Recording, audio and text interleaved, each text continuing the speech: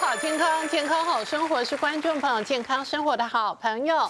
大家好，我是大家的健康好朋友林官。讲到健康哦，我们身体里头有一个排毒的系统，哎，不管是排汗、排便、排尿哦，或者甚至是呼吸哦，都是在代谢生理体里头不要的废物或者是毒素啊。不过这个环境中的毒素哦，事实上哦，这个人类面对的处境是恶化的。比方说空气的污染、水的污染，或者是各式各样我们生活当中哦接触到的这个塑胶、塑化用品，或者是哦各式各样的饮食用品哦，事实上也都可能隐含着观众朋友看不到的毒素。那到底有平常的生活习惯怎么样来健康生活、调养跟排毒呢？待会这集健康好生活就要跟观众朋友来分享。好，今天朋友们一起分享的有六个好朋友，第一个好朋友是医生好朋友江所山医生，大家好。再是中医师的医生好朋友周伟伦医生，各位大家好。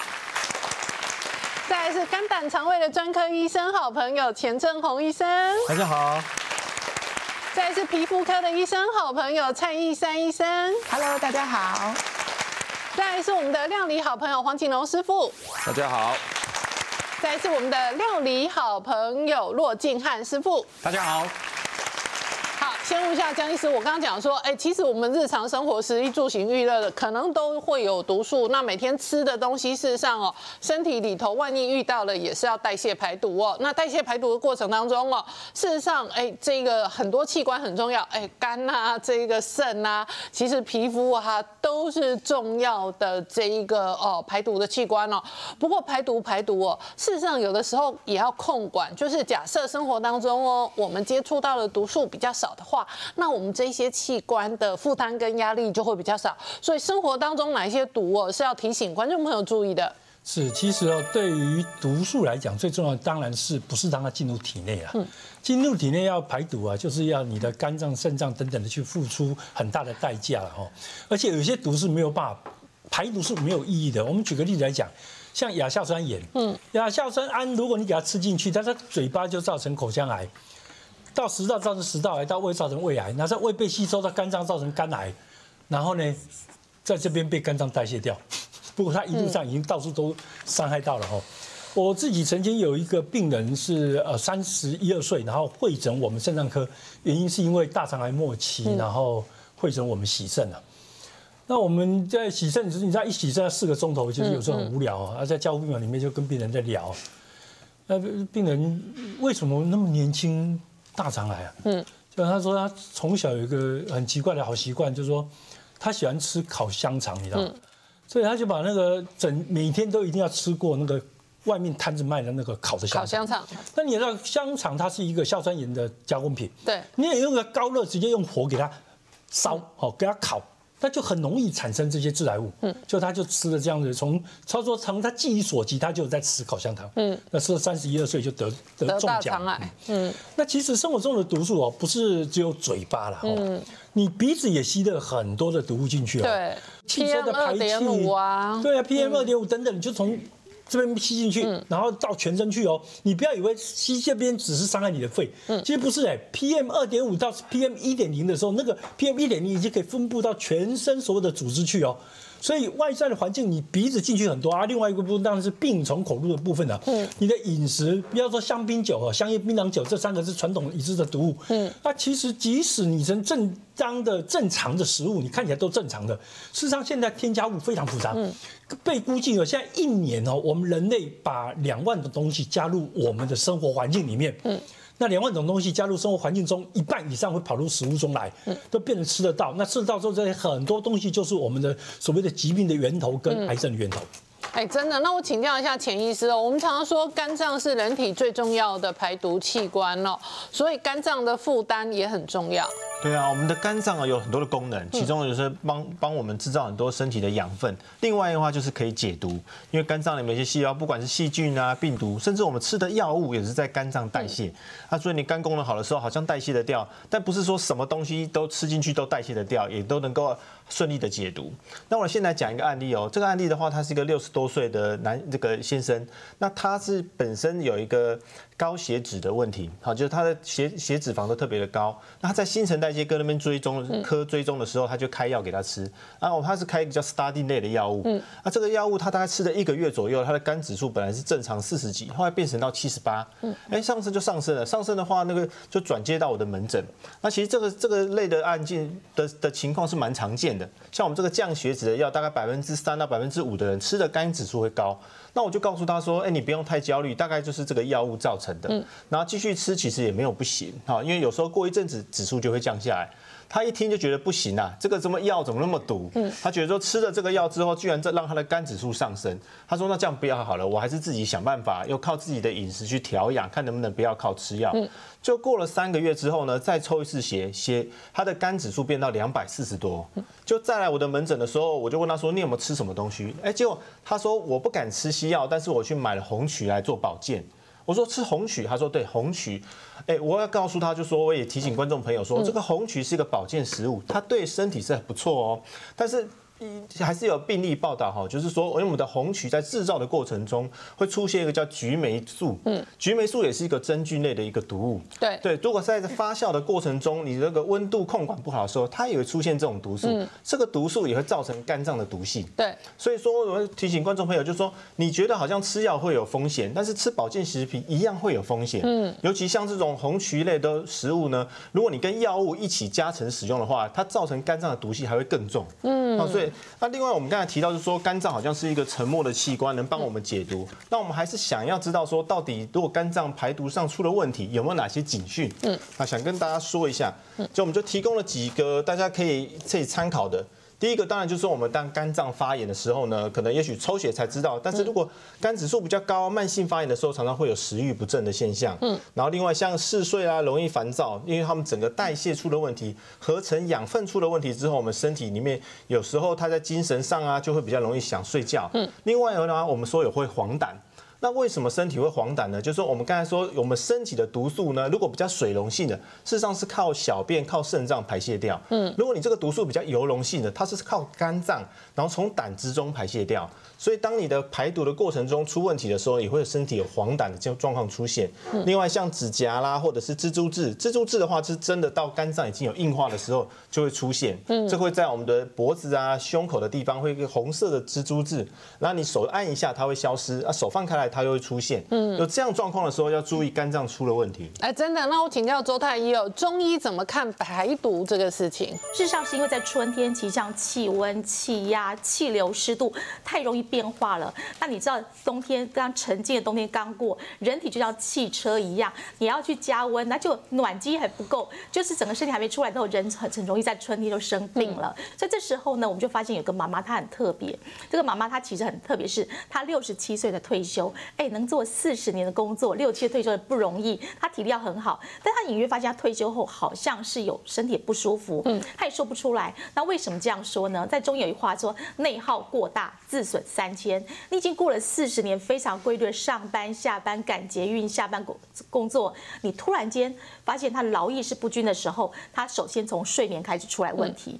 偏偏在去年疫情前，他不小心有骨折，嗯，然后疫情医院也不方便过去，他居然在去年半年那个骨折开到钢钉又开了三次，嗯，就开三次，表示他愈后是很不好的，就开始身体又更焦虑、更烦躁。这个时候就发现说他有问题，在今年，你知道今年。的春天并不是从过年后才开始，冬至易阳生，冬至之后它问题就来了。第一个失眠，第二个骨折开刀伤口愈合三次不好，再来他居然有老人紫斑症，全部的手脚开始发痒和全部出血、破裂、淤青，再加上就是荨麻疹不断和整个人很焦躁不安，甚至牙龈全部浮肿，他的牙齿整个全部连就破了七八个洞。那我们就跟他说：“妈妈，你好像要开始要重新调整身体。”我们就跟他说：“其实其实身体是从你从很燥热热变虚变寒，你从很实变虚，虚了以后开始毒素。”累积了毒，你不要担心，毒如果再变瘀、再变阻、再变癌症肿瘤就不好。你现在还好，直到毒这个地方堵住了，所以春天堵住了，我们就介绍他说，你还是要把身心调一下。那你这样的话，其实你是肝毒跟心毒。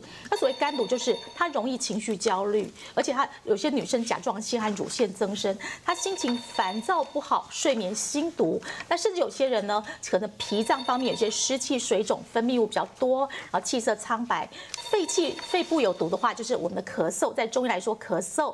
过敏容易多愁善感、多忧思，然后肾脏不好，肾毒的话是容易下巴下巴会长痘痘、下肢水肿，所以你不要担心。你目前来说只有在肝毒、心毒，我们用一些比方合欢皮、用绿豆汤、莲子心、龙眼茶这样，让它疏解它的肝郁和睡眠之后，哎，三个礼拜过年后来看，我们三个礼拜状况好像慢慢变好了，而且整个循环有走路循环变好，脚也慢慢的变舒服了。嗯，那接下来我们这一个黄师傅就要来分享一个健康好。料理刚刚讲说，日常生活的饮食当中哦，排毒很重要哦。排毒第一个，这个好的这个膳食纤维哦，排尿排便哦，事实上哦，也是代谢很多身体的这个负担跟废物。对啊，那今天要用这个无花果来跟大家分享一道，就是无花果的这个香橙的虾球。好，我们先看看哦，这个无花果是有些时候我们吃西餐的沙拉会用到。西餐的话它是新鲜的，但是这个是一个果干。嗯，那这个有分两种，一种是比较白的，嗯，白的那个很甜。那像这种。颜色比较深的无花果呢，它本身的甜度会稍微降低比较多，嗯，那很适合来来做一些海鲜的搭配这样子。那这无花果我们看起来很硬，对不对哈？要我们要泡一个东西，让它稍微有点软化，这个就是新鲜的这个柳丁级的汁。好，对，直接给它泡进来。哎，通常要泡多久？呃，那其实一般来讲，这个泡进去的时间呢，就是说呃，我们大概差不多五分钟以内。好。对，因为只是要让它稍微可以软化一点，对对对。泡太久应该会烂掉。呃，也也不太会烂呐，就是说口感会比较软。哦。我还是希望说这无花果可以吃到有一点口感是 Q Q 的这种果干的口感哈。好。好，那我这边用的是这个虾子哈。嗯。那传统虾子就是会用那个呃酱油啊，或者是盐巴、米酒等等腌哈。那今天我这边用个比较。特别的一个食材啊，调味就是刚刚钱医生有讲到的 红曲酱，直接红曲酱，因为这里面已经它有这个曲酿在里面，咸度都有了哈。哎，我们现在哦，这个虾肉是去壳，然后去肠泥哦，对，然后直接哦，这个开背一点，然后红曲酱，市面上这一种红曲酱常常它都有咸度跟味道了，对不对？它已经咸度味道都有了哈。然后呢，这个稍微有点干的时候，我们可以加一点点的米酒哈，把它稍微拌开这样好。然后我们另外哦会烧它哦，准备一点粉。师傅准备的这个是什么粉？呃，今天用的话，这个是面粉哈。好，面粉。对，如果你要让你的虾子就是说煎起来，它的颜色非常金黄或好看。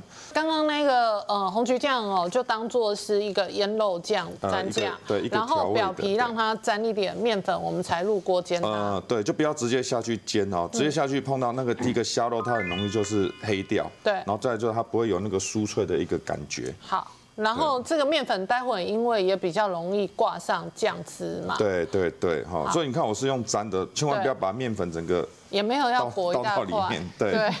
对，因为整个面粉遇到这个水，它整会糊掉。好，对，所以我们要这个热锅热油的同时，我们才挂这一个面粉，然后待会要让它煎它。好，好好，那我们就薄薄的就可以了哈。这个油温已经有起来了哈。因为传统很多人在做这些，嗯，这种要要让虾子香，它最快的动作就是下去炸，对。对。但是我希望大家在家里可以用一些比较健康的方法。对。对，节目上的。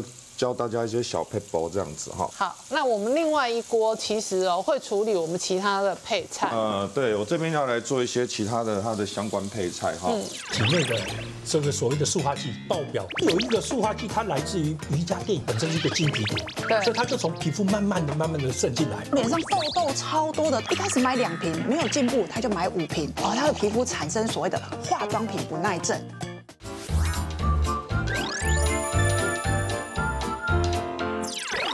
相关配菜的话，就是准备一些比较季节时蔬哈，哦，像这个洋葱啊，还有这个芦笋啊，还有一些像这个玉米笋啊、菇啊，对，这都是非常好的。啊，都可以。对，好，那首先呢，先把这个蒜末跟洋葱哈，把它下去，把它做一个炒香。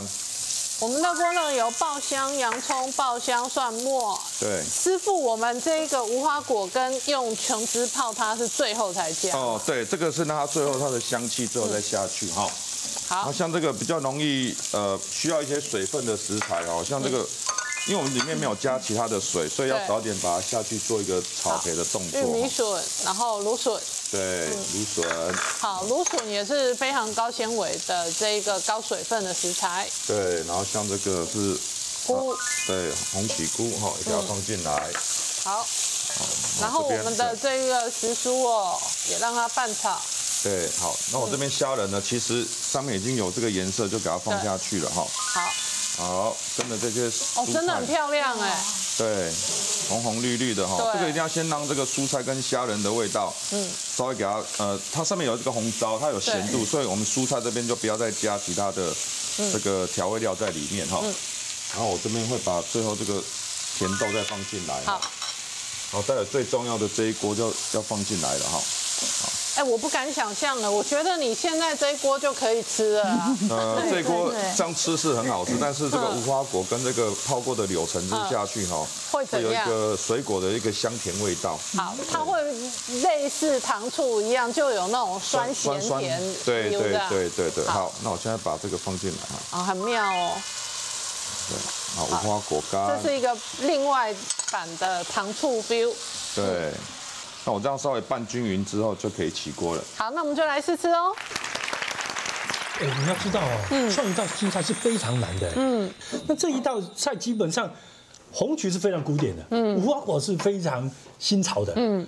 对不对？因为古典跟新潮的交汇，那也是东方跟西方的交汇，而且很难得是说，你一般我们吃虾卷，我都期望吃到什么呢？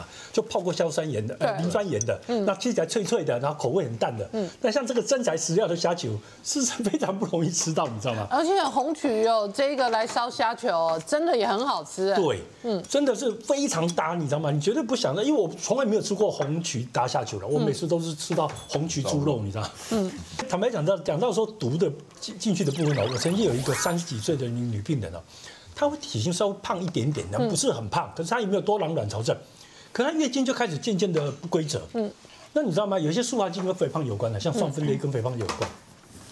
所以听她这样讲，啊，那一经期也不正常，我就给她测了一个体内的这个所谓的塑化剂跟那个所谓环境荷尔蒙的含量。嗯，结果哦，她有两个环境荷尔蒙塑化剂哦，分别爆表。超过正常值上限的二十倍跟十五倍。嗯，那后来推测原因哦，是因为他自己吃东西大概也是不怎么讲究的，我就外面买东西吃就随便用袋子装。嗯，那可是有一个塑化剂，它来自于比较特别的东西，就是说它并不是我们的塑胶袋有的成分。嗯，就查一查，就是它瑜伽垫有。哦，啊，这个女生在用瑜伽，那瑜伽有时候她会流汗，你知道吗？对。那加上。这个塑化剂本身是一个金皮毒，对，所以它就从皮肤慢慢的、慢慢的渗进来。对，那塑化剂的代谢其实有的快，可是有的很慢。嗯，像它后来这个高十五倍这个塑化剂就代谢的很慢。嗯，那我们推测它影响到它的经济，后来我们就给它打一些针，让它加速它的本身的这个肝脏塑化剂的代谢。对，然后后来它的经期就渐渐正常。哎，塑化剂用什么代谢？哦。像举个例来讲，谷胱甘肽，它从谷胱甘肽再加上 B 群，还有加上一些东西，它就可以增加它的代谢。嗯，那其实我们人体啊有一些自备的防御机转。嗯，我们本身肝脏哦，刚才我们肠胃科医师也特别讲过，说肝脏本来就可以解很多毒。嗯，那肾脏帮你排很多水溶性的毒素排掉。然后呢，你不要小看大肠，大肠除了把你大便排掉之外，它会调节你身体的需求。嗯，像你钾离子过高。大肠里面的钾离子排泄就会突然间增加成原来的三倍。OK，好，所以它也算是一个排泄器官。当然，最后皮肤科大家会讲，皮肤科是身上最大的器官，因为皮肤表面积最大，它也是重要的排毒的器官。嗯，因为我们知道说，重金属其实看起来从尿从身上排泄的很少，大部分都从汗水中排泄，所以皮肤是非常重要的排毒器官。当然，我们咳痰的时候。也会少量的把呃进入气管的一些毒物给排出来，所以它勉强也算是一个排毒器官。刚刚讲哦，这个人体的排泄的这一个排毒的器官很重要。嗯，那另外一个是帮忙排毒的营养素也很重要，因为这些东西降低我们健康跟器官的负担。没错，其实哦，排毒第一样东西，这除了这表上这五样之外，还有一个很重要的，嗯，就是适量的氨基酸呐。哦。我们氨基酸是在肝脏解毒里面呃扮演一个很重要的角色，常常是第一步结合的角色啊。那当然，膳食纤维就早就知道说，膳食纤维会降低毒素的摄取量。哦，你膳食纤维吃多了，很多毒素就卡在这个膳食纤维上就排掉了。那 B 群已经知道可以呃增加像代奥辛多氯联苯的排的肝脏的代谢的速度，那它也会增加一些像我们的呃空气污染里面的吸收到的什么光气啊等等的这个有毒物质的代谢的速度。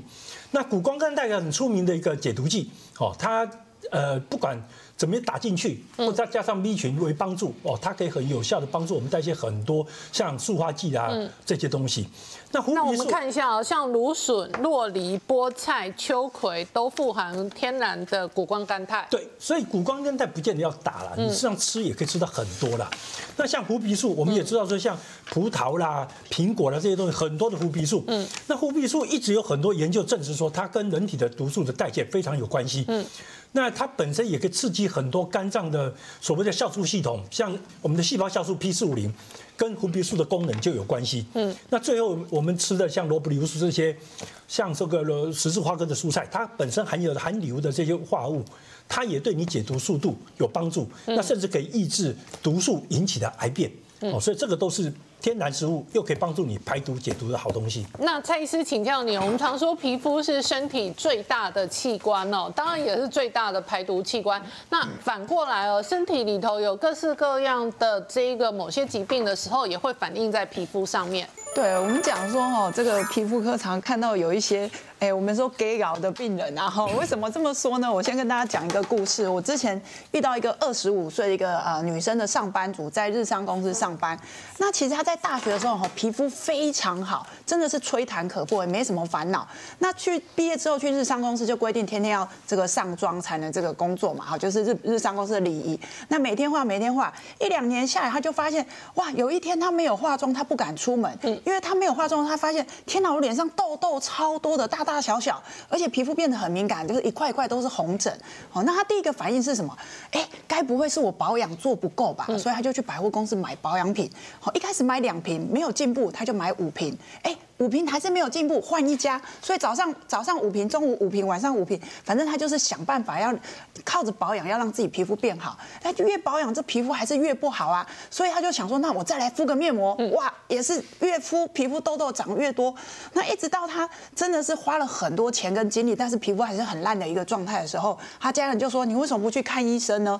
那他来看医生的时候，我们一问之下发现说：“哇。”你当一个人长很多痘痘，他第一个反射动作就是用力去遮盖，嗯，所以他化妆哦不是只有一层、两层、三层、四层、五层，好像抖音也很多，哇，在化妆花非常多时间在那边打底妆。那你画这么多彩色的东西，然后甚至有的是遮瑕力、覆盖力非常好。那他晚上下班回家的时候，当然他就要卸得很干净嘛，所以他就用两瓶卸妆的去卸，所以又再次破坏他的皮脂膜。所以呢。他在涂上这一些瓶瓶罐罐五瓶十瓶的时候呢，哦，他的皮肤产生所谓的化妆品不耐症。嗯，所以呢，皮肤即便它是会有代谢会调整，可是你给它过多的负担，这一些呃过多的东西堆叠在你的皮肤的时候，它就当然喊救命啊。嗯，所以皮肤最好的保养的方法，如果问皮肤科医师，省钱省时间。叫做佛系保养法，清洁保湿加防晒，适当的休息才是好的。所以我就请他说啊，你这个礼拜肌断食，肌肤要断食疗法，先把你这个所有的瓶瓶罐罐都停下来。好，你一瓶五十种化合物，五瓶就两百五十种，哇，你早上两百五十种，晚上两百五十种，这是根本就是一个化学实验室啊。嗯所以它停掉之后呢，我们再给它适当的药物，很快啊，两个月其实它皮肤就很进步的很快。嗯所以其实我们皮肤它是有适当的一个代谢功能，有保护的功。能，那这些汗水帮助我们调整温度，啊，帮助我们代谢一些废物，所以你不要给它过过多的负担，不要去给咬给它增加它这个工作的负荷量。哎，真的，而且周太医要提醒现代人哦，包含压力都是一种毒素。对，真的很多东西，除了工作、情绪、家庭之外，其实我们现在遇到临床上很多的反而是压力性的身心毒。像我一个病人，她是一个四十几岁的妈妈，事实上她是一个非常单纯的行政窗口的一个联系工作，但是她的一个事情是要有轮调的，工作有轮调。可是在这一次轮调之后，哎，出出大事情了，不知道为什么，就在轮调的时候，刚好她其实偏偏那个心里的结就是过不去，就是该下班六点不能下班，要九点多下班，她觉得为什什么我要九点下班？然后因为家庭有问题的时候，他说为什么我不能九点就回家看小孩？因为想要而不可得的时候，那是最可怕的。然后偏偏家里又遇到问题是，她明明很想滑韩剧，滑韩剧，她老公就说你怎么看这没有水准？要看政论节目，他更气。还有每天该到点的时候，她赶着回家煮饭，所以我觉得他应该跟师傅学学一锅料理，真的，因为煮饭也是一种压力，每天回家赶着上班煮饭，所以于是他在前一阵来找我的时候。对一个陌生的医生，他居然一进来是笑中带泪，笑一秒钟，接着全脸，我真的觉得他比《还珠格格》那个还厉害，全脸布满了泪水，就是开始哭说，为什么我好像重度忧郁，重度忧郁，每个医生都开，我就看他的药单是医院给他开，都不是轻症或帮助睡眠的，因为他睡不着，情绪不稳，第二天上班他没有办法上班，那医生给他开都不是帮助睡眠，都已经到中重度忧郁症的药，他是只吃了是可以，问题是第二天爬不起来上班。那我说你这样的一个压力性毒素，然后他我说你我不会跟你说你要放开，你要放轻松，然后他就说对，医生如果你再跟我讲一句你要放轻松，看开一点，我就把你打下去。我 说呃，对我不会跟你讲这句话，但是麻烦你回去看，比方说哈冥想、静坐、阿法波，还有我跟他说了一个重点是，麻烦你对镜子对自己的脸。开始学习怎么笑，你用你喜欢的方法还愿意的方法去帮助你走出来。所以，我们要要快走、静坐、冥想这些。那其其实这在这里面呢，我觉得穴道是一个非常好的方法。那穴道不是只有在按人中，按人中是因为我看到病人很气、很激动，快要休克，所以我按按人中。事实上，镇定安神是要按这三个穴道的。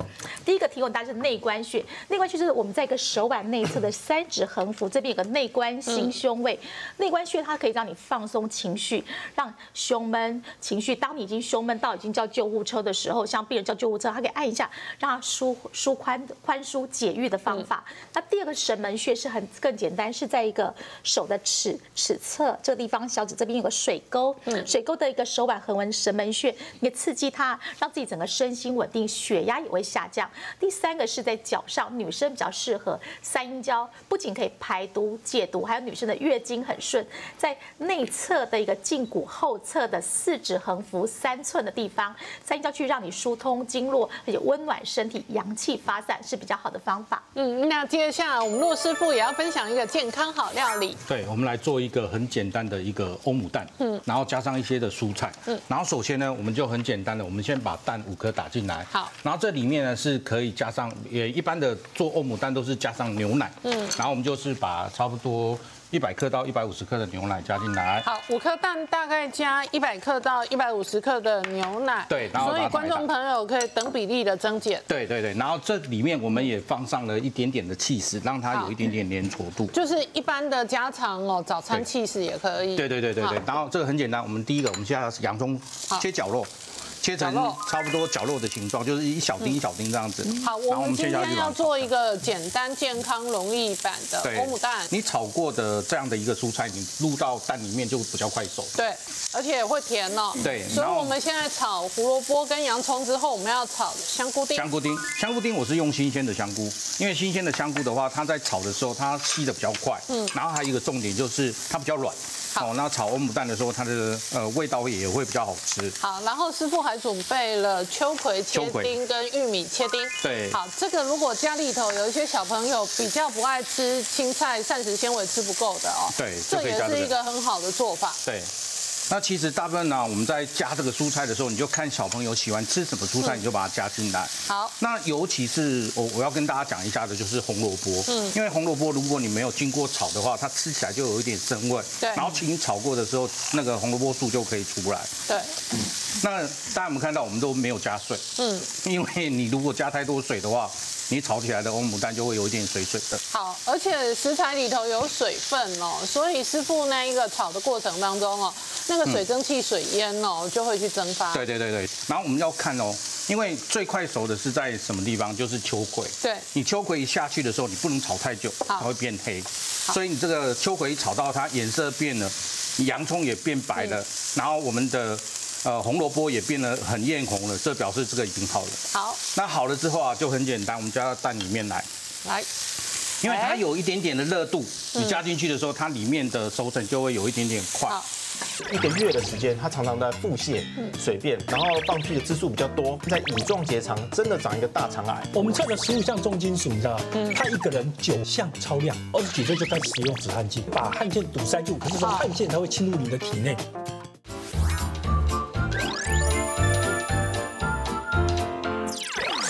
是把食材放进去蛋对对液哦，然后所以食材先炒香、炒熟。我们留一点点哦，等一下要做装饰的，把它放在旁边因为这个就味道很甜了。对，嗯，然后这个下来之后啊，我们要很简单的，我们要做一个动作，就是这个再回来，嗯这个也不用去注意它，我们就是加上松板肉。哎，这松板肉我们煎一煎，等一下我放在欧姆蛋上面。哦呀，那你这个是加料版。对对对对一般的对。观众朋友，一般的婆婆妈妈，早上有上这样的蛋粒，待会上欧姆蛋已经感人了。对，这其实欧姆蛋你就可以把它做成一个，就是如果中餐、嗯正餐的时候，你就可以把它加强版的一种。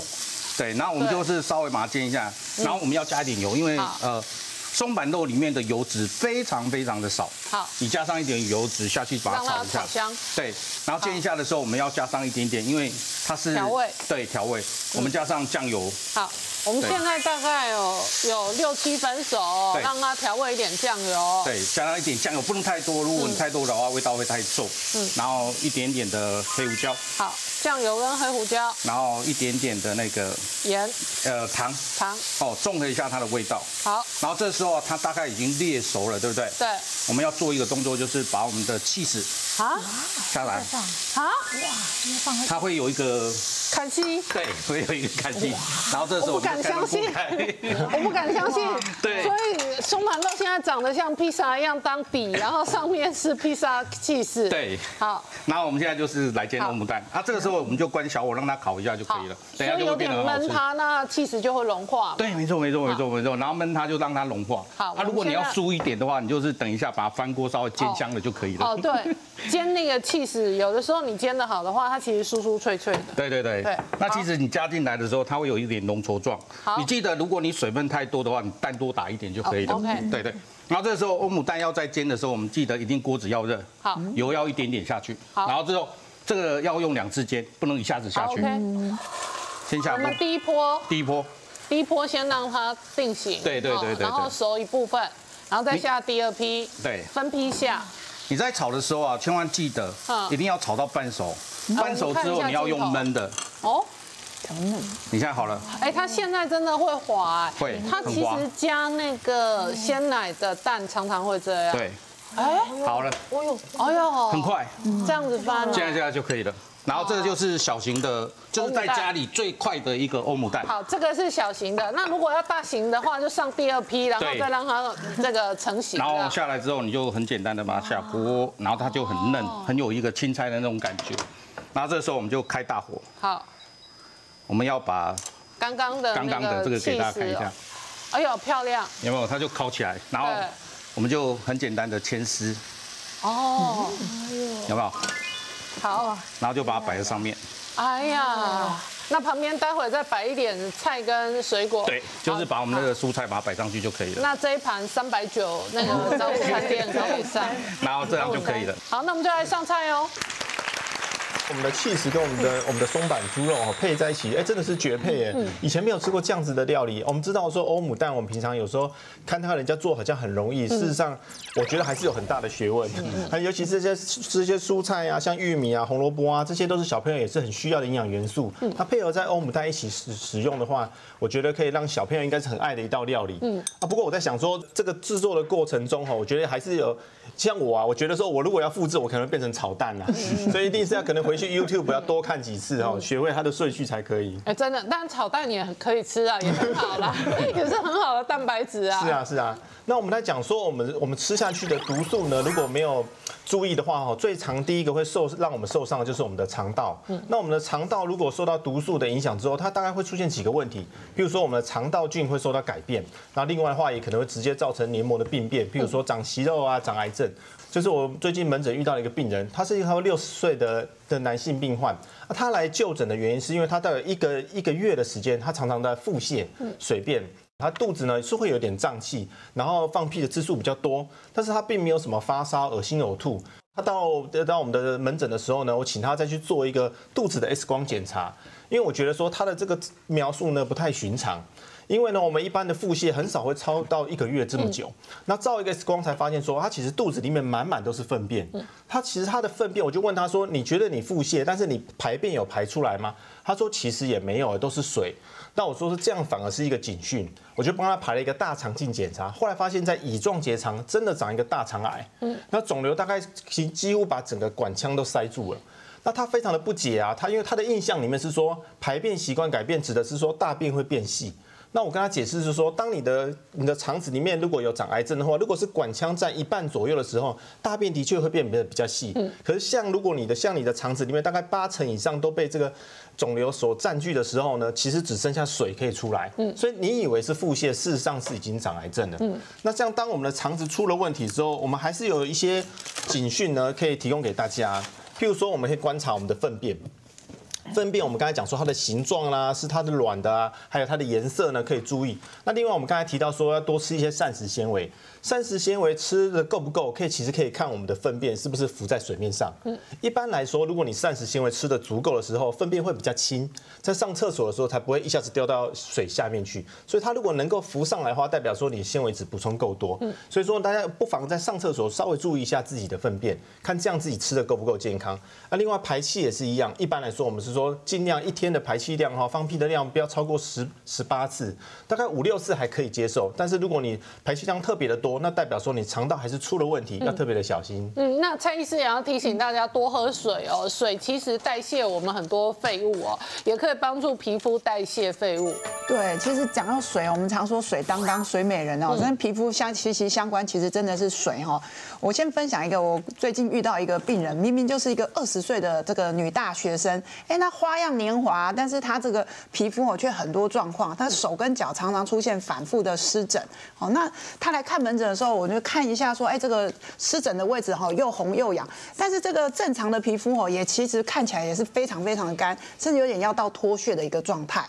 那我仔细看，哇，他的其实脸也很干。我说，哇，你明明一个二十岁的，怎么二十岁的年轻人，怎么皮肤像七十岁的老太太哦？因为非常的干。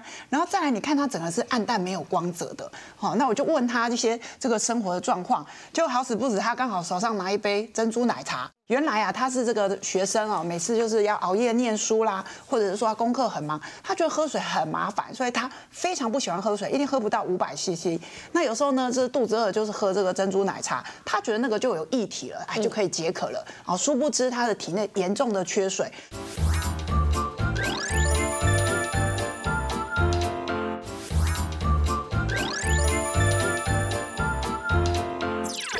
我就跟他说：“你皮肤哈，这个湿疹哦要好，你的适适度的这个水分要补充，你才会水当当的。”他说：“医生，你不要骗我啊，喝水跟我皮肤有什么关系？”我说：“你来来来，我先给你看一张图片哦，嗯这是我们的皮肤。其实哦，我们的皮肤哎，真的很像千层蛋糕哦，从外到内，最表层这个角质层，然后再来颗粒层、棘状层跟基底层。其实它的水分哦，哎，是从表面的这个角质层大概是含水量百分之二十到三十五，可是要基底层大概有百分之七十的一个含水量。所以呢，从浅层到深层，越来越多的一个水分，这是指正常的状态下哦。如果今天你是在沙漠，或者是像这个大学生一整天都不喝水，我告诉你，你的角质层可能在基底层的水分剩不到五十。嗯，那接下来会发生什么事情？哇，这一些我们的角质细胞砖块就开始崩解了，所以他们就很容易脱屑，很容易挡不住外界的这一些这个呃，不管是污染啊，或者是细菌、病毒等等，它也很容易会掉一些皮屑，然后你的这个防御力变得很差。嗯，最最重要的是，哇，你。可能就湿疹了，可能就很多状况了，所以我们还是鼓励大家，就是说水你还是要这个适当的一个摄取，而且我说的是白开水，慢慢喝，也不是叫你一口气牛饮。好，那不要等到你真的口渴才喝。如果你的小便出来都非常黄，代表哇，你真的很严重缺水了啦。嗯，那江医师也要提醒大家，生活当中有各式各样的毒素，另外一个很不容易排出代谢的是重金属，所以重金属的污染、重金属的毒素哦，大家还是要尽量。的避免。我门诊有个病人哦，那六十几岁，非常成功的一个女的企业家，她承包很多的工程。然后她从年轻的时候就是有做自己的事业，所以她就很在乎自己的仪表。嗯，所以她就很讨厌流汗。她讨厌流汗，所以她到处空调。哦，不止，她还怕那个汗水把她的腋下弄出汗渍来，她觉得这样很不礼貌。所以她从小哦，年轻的时候二十几岁就开始使用止汗剂。嗯。结果后来年纪大的时候，突然间就是开始很多病，比如说他气喘，然后牙龈一直发炎，嗯，那看这个清牙结石也没有办法，问题把搞问题搞不定，然后到最后连记忆力都不好了，嗯，那到门诊来哦，不抽不知道，一抽吓一跳，你知道吗？我们测了十五项重金属，你知道吗？嗯，他一个人九项超量。嗯，那后来我们了解说哦，他这个东西哪里来，你知道吗？因为他应酬很多，嗯，他包人家工程嘛，所以他常是生鱼片、生蚝、鹅啊，所以呢，海鲜，我认为汞、铅、铬、砷大概是这四个从这边来的。海鲜，对，那它的铝啊，铝倒比较特别，它铝它不是吃吃油条造成的，它是止汗剂。哦，止汗剂有铝哦，止汗剂就是铝。的化合物，那你敷在腋下，它会把汗腺堵塞住，可是从汗腺它会侵入你的体内。好，那它的这个因为在跑外面跑嘛，所以他常常就买瓶装水，所以 T 就是高的。哦，塑化剂。对，T 是高的。嗯，然后紧接着那个习是来自于他呃在家里哦，因为他事业是就是有事业女性，她做饭要很快，嗯，她常常把鱼包着那个铝箔去烤。哦，最后面那个银是来自于他家的滤水器材了。那这一点是很很特别的一个现象。美国早就规定滤水器材里面不能使用银了，可是台湾到处都在用。